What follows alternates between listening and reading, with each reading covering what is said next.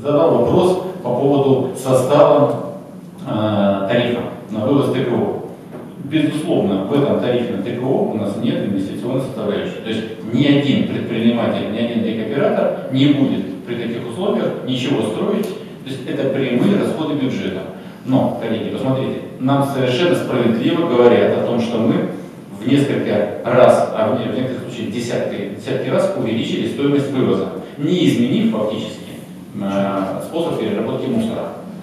Если мы не меняя способ переработки, мы несем колоссальные имиджевые потери. Мы не выполняем функцию власти. Если мы не начинаем нести большие существенные расходы бюджета, 20 миллиардов вы говорили, если мы их не понесем, эти э, имиджевые потери станут фатальными.